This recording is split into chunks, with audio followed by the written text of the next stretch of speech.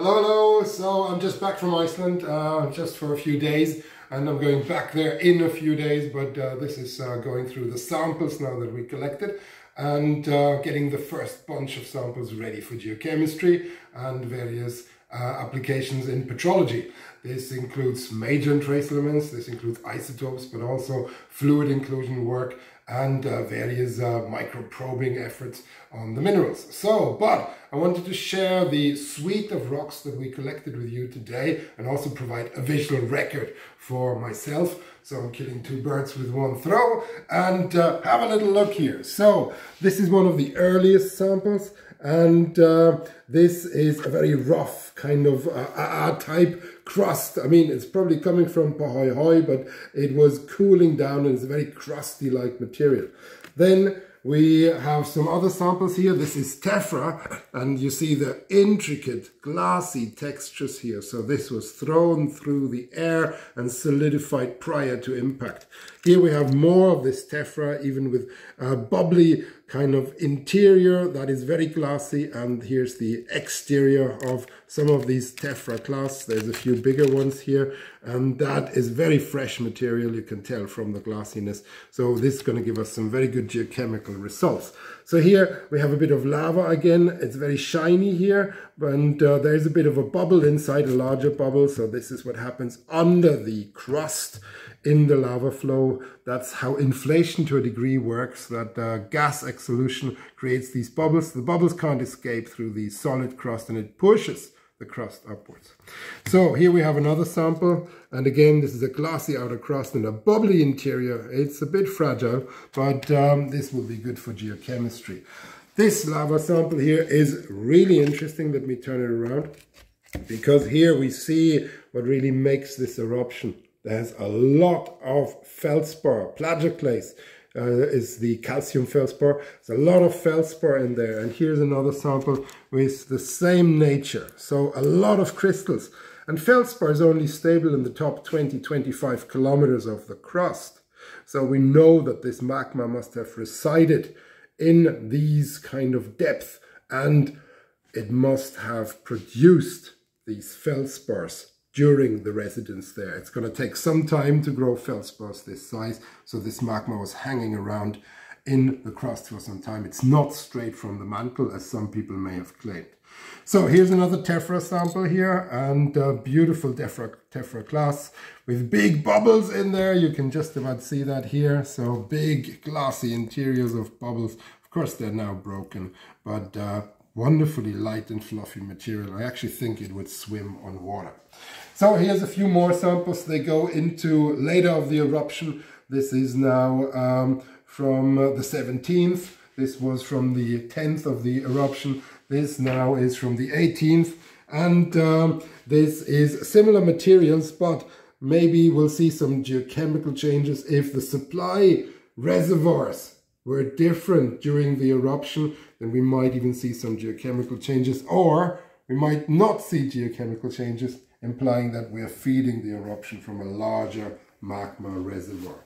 Here's a few beautiful samples. These have collector's value. This is the glassy part from a lava flow that was east of, sorry, west of the cone, of the main cone, which is actually now covered in the breakout on the 19th to the 20th of July. This part of the lava flow is now covered, so you can't get these samples anymore, not easily anyway. And um, here we have these beautiful glassy streaky skins and uh, here we have the interior of it and there we had big bubbles that were pushing things up beautiful surface.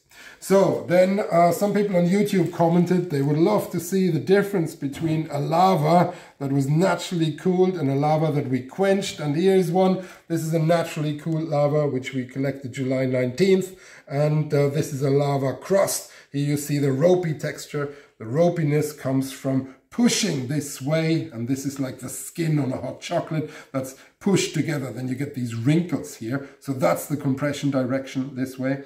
And this is the interior. Again, it's very bubbly. These are the bubbles that are pushing upwards, making the skin rise up in places. And I've done a video there where we had sediment on top of the lava flow. Some people might ask how that works. Well, it's inflation.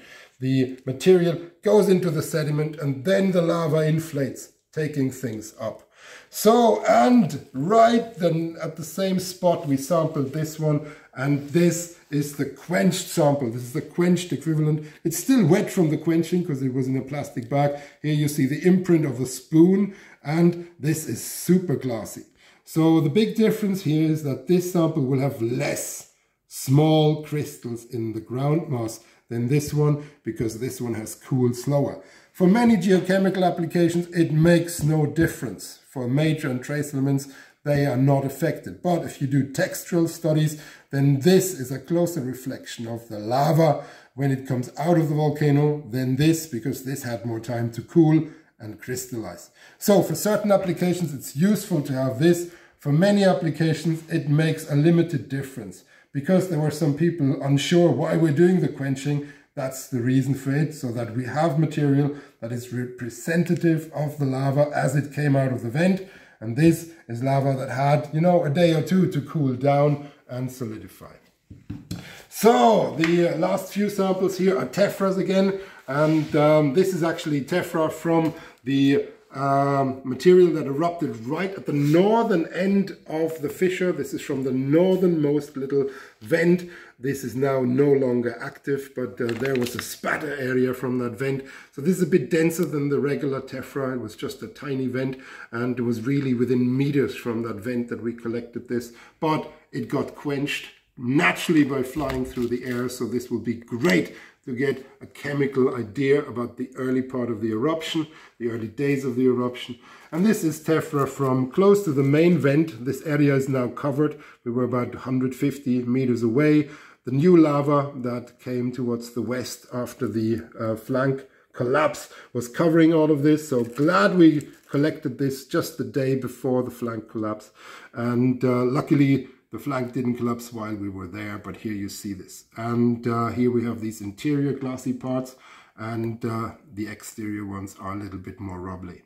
So we have large bags of this. It's good because we need a lot to separate minerals for fluid inclusions and this is going to be the job that we're going to do later. So this was an overview of the initial samples we collected and they will now be processed and they will be sent off to the various laboratories that are collaborating with us and uh, they will also be made into slides for microscopy. So this effort has to be done right now so that we start getting geochemical data in already during the eruption and not just after the eruption has terminated. So thank you very much and um, yeah, more soon on this. I hope you enjoyed that and all the very best and I'll report again in a short while.